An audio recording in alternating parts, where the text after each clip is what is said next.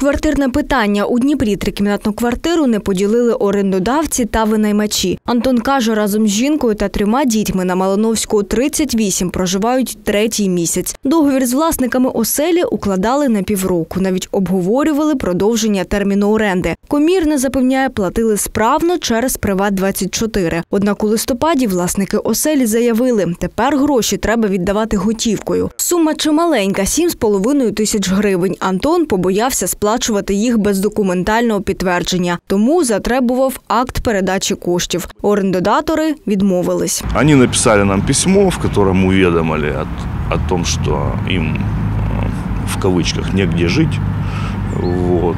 И о том, что 4 декабря они э, то есть, ожидают нашего выселения. Не чекаючи грудня, власник квартири вломився до винаймачів житла вже цими вихідними. В присутствии полиции он размахивал ломом э, перед замком, вот, э, угрожал вскрыть квартиру, взломать.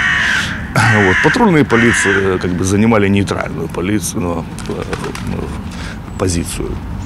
Говорили о том, что это его квартира, и он, там, его дверь, он, в принципе, может, то есть имеет право делать то, что он хочет. Саме так власники житла і чинили, каже чоловік. Запрошували гостей, намагалися викидати речі жильців та окупували кухню до вечора. Вы сдали квартиру, вы получили задаток, вы получили авансом два месяца аренды.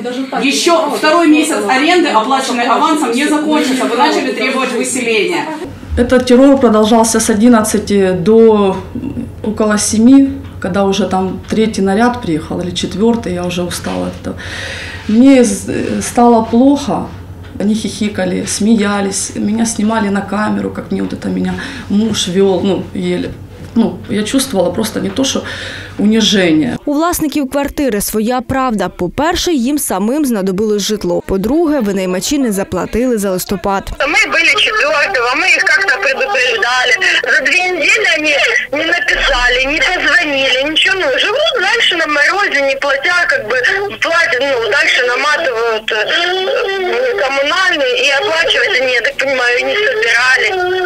Адвокат Станіслав Ліфлянчик каже, за законом виселити людей з квартири можна за спільною згодою. Це має бути прописано у договорі, або ж якщо орендарі завдають матеріальних збитків власнику. Однак довести це не так просто. Единственный инструмент воздействия одного на другого – это обращение с исковым заявлением в суд. То есть, если ограничили доступ в квартиру, это значит э, о э, ну, снятии этого ограничения. Если возникла задолженность, значит о взыскании задолженности. Саме тому, продовжує юристи, необхідно вимагати від власника документального підтвердження передачі грошей за житло. Однак, поки ваша справа дійде до суду, строк оренди може вже завершитися. Тому, перш ніж зв'язати себе домовленістю з іншим власником квартири, орендарям юристи радять перевірити інформацію у відкритих реєстрах. Есть у нас реестры, реестр прав властности, во-первых, нерухомого майна, где можно проверить это все дело. Во-вторых, вы у самого арендодателя должны запросить документы на проверку права собственности.